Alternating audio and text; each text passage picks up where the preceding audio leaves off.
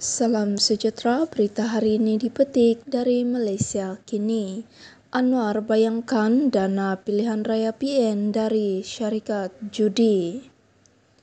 Perdana Menteri Anwar Ibrahim membayangkan sebahagian dana pilihan raya PN datang dari syarikat perjudian yang terlibat dengan cabutan khas judi.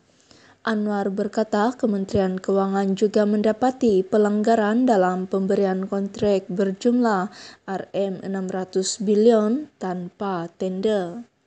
Bercakap ketika sidang media di Pejabat Perdana Menteri di Putrajaya hari ini, dia berkata dana pilihan raya untuk Parti Melayu dan Parti Islam datang dari syarikat perjudian. Berkenaan judi, pastinya sebahagiannya digunakan untuk mendanai pilihan raya. Saya telah minta semakan terhadap perkara itu. Walaupun anda gelar diri anda Parti Melayu atau Parti Islam, dana pilihan raya datang dari syarikat judi, katanya.